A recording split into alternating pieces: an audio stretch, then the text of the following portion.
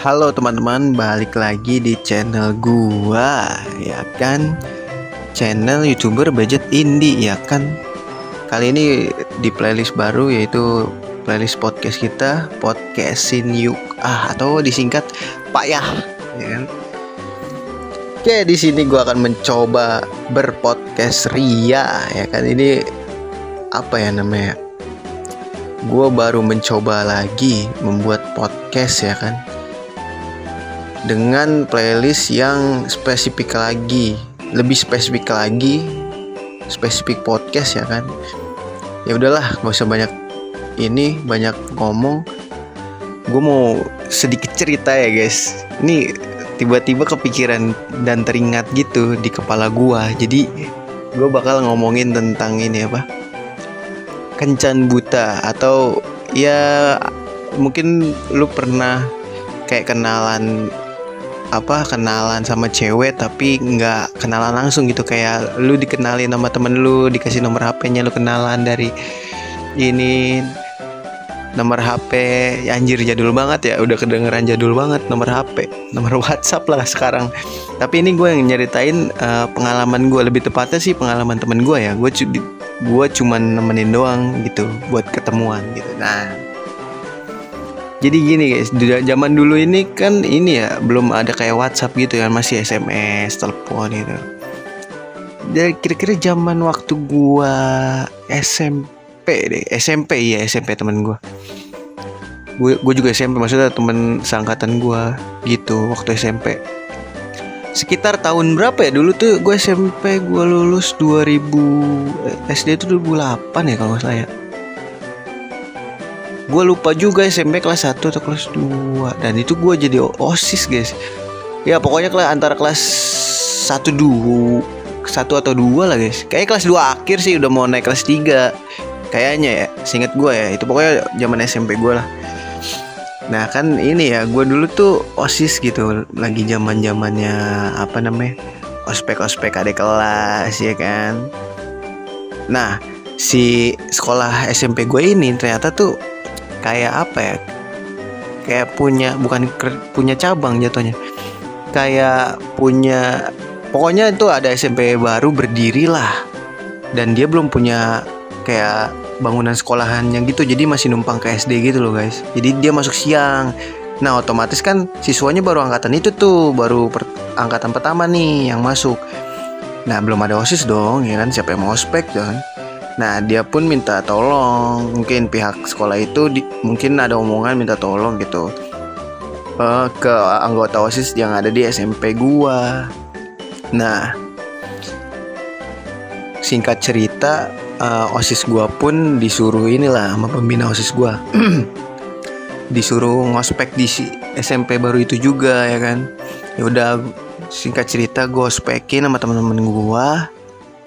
Kemudian ya selang beberapa hari lah ospek kan waktu itu kalau nggak salah seminggu eh seminggu nggak sih apa tiga hari doang ya kayak nggak sampai seminggu deh tiga hari doang deh singkat gue tuh tiga hari doang Nah, gua sama temen gue ini kita sebut aja si Kunyuk ya. Kita sebut si Kunyuk ya. Nah, si Kunyuk ini nih emang predator, guys.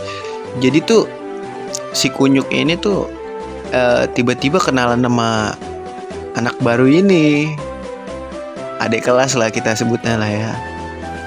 Adik kelas kenalan. Nah, sebenarnya di situ ada satu nggak tahu ya. Pokoknya dia cerita tuh satu katanya ada satu cewek cakep nah tapi dia nggak berani ngedeketin cewek itu nah akhirnya dia ini apa namanya ngedeketin temennya bukan ngedeketin sih jatuhnya kayak mengakrabkan diri kepada temen si cewek cantik itu katanya loh ya. Ingat perlu digarisbawahi kata-kata gue katanya nih guys. Nah deketin deketin deketin deketin akhirnya minta nomornya. Minta nomornya terus ini. Ya mereka ber SMS ria lah. Nah singkat cerita waktu uh, eh, gue lupa pokoknya beberapa hari itu mereka tuh ngajak ketemu gitu loh ngajak ketemuan gitulah. Si temen gue ini si kunyuk ini ngajakin ketemuan. Nah terus dia nggak berani sendiri dan dia juga nggak ada motor kan. Nah waktu itu gue ada motor tuh ibaratnya motor nganggur lah di rumah. Kita temenin gue ya udah sore harinya tuh hari libur kalau hari minggu. Ngajakin ketemuan lah di tempat uh, di tempat ini pokoknya di suatu tempat uh, yang udah ditentukan sama dia lah di pinggir jalan gitu. Pokoknya guys. Gue nggak bisa sebut ini ya ntar lu pada tahu lagi. Soalnya ini tempatnya terkenal guys. Ya udah tapi bukan tempat wisata atau tempat nongkrong gitu emang bener-bener pinggir jalan aja gitu. Nah uh, satu waktu ya udah ketemuan gue samper dia karena dia nggak ada motor kan gue samper dia ya udah. Gue gue ke, lokasi yang dia tentukan tapi rada minggir guys gak, gak di tempat itu jadi aduh sadis juga sih ini kalau diceritain sebenarnya cuman lucu menurut gue nih setelah diinget-inget anjir Nah, gue rada melipir tuh, rada jauhan dikit dari tempat uh, lo lokasi yang si kunyuk ini tentukan gitu. Gue nggak nggak kan di situ, karena gue belum ngerti cewek waktu itu guys SMP tuh. Ya udah, dengan ya dengan polosnya ya gue duduk di situ, duduk di ya kayak ada warung lah jajan-jajan dulu tuh. Ya udah nakal-nakal dikit lah ngerokok. ya udah di situ terus ini apa namanya ya kita tungguin si cewek itulah ya kan set But pas dateng anjir Nah tuh cewek parah guys Bukannya gimana ya Bukannya body shaming ya guys ya Nah menurut temen gue itu kurang banget banget banget kan temen gue sampai ngomong itu. Gak inget banget Gak inget. Gak inget mukanya jelek juga si kunyuk ini Iya dan dengan ininya ya begitu cewek itu sampai kan. Nah temen gue langsung ngajakin cabut gitu tahu.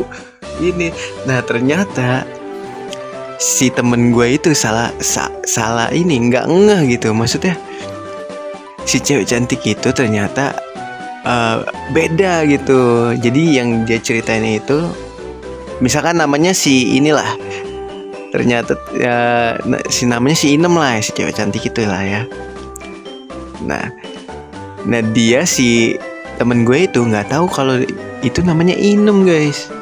Dia tahu namanya nah uh, yang dia tahu namanya si ini Ayu lah gitu kita sebut ya. Namanya si Ayu. Ya udah dong, dia kan eh, si temen gue itu minta nomornya nomor Ayu. Nah, si temen gue anggapnya si Ayu itu yang cewek cakep itu. Ternyata yang dateng ah, si Ayu beneran. Nah ya udah tuh temen gue langsung ngajak cabut aja gue bilang. Gue baru pasti gue kan ini ya guys ya. Baru gue kan lahiran Jakarta uh, sampai lulus gue sekolah SD di Jakarta. Nah SMP-nya baru di Tangerang itu guys di ya jangan sebut daerah spesifiknya lah. Pada tahu soalnya daerah gue terkenal juga guys. Nah sedikit ya udah ngajak cabut tuh. Singkat cerita ngajak cabut aja gue ketawa aja. Di ini di motor guys berdua. Anjir gue bilang deh si kunyuk so ganteng banget. Dan gue baru nggak triknya guys. Kayak gitu. Anjir gue bilang kalau dibandingin eh, ini ya sekarang ya parah zaman dulu ternyata guys emang ya kalau sekarang ya ada WhatsApp udah ada foto profil Seenggaknya kan masih bisa ini ya, masih bisa apa ya? Kayak model Tinder gitu kan ada fotonya. Jadi nggak buta-buta amat kencana guys. Zaman dulu ternyata lebih parah. Parah itu gue baru sekali itu yang uh, ada ngelihat orang atau punya pengalaman kayak gitu gitu loh.